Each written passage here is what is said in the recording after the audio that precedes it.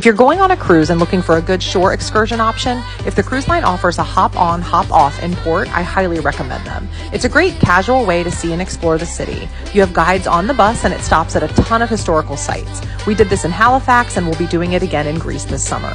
Need help booking a cruise? Reach out, I'd love to help you.